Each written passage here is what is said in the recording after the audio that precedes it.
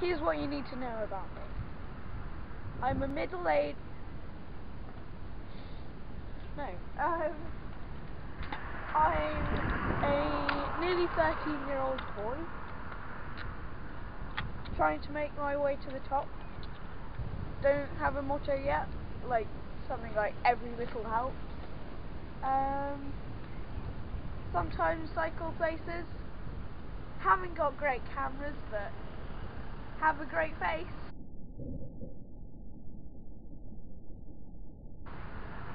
This will probably end up as my uh, channel status.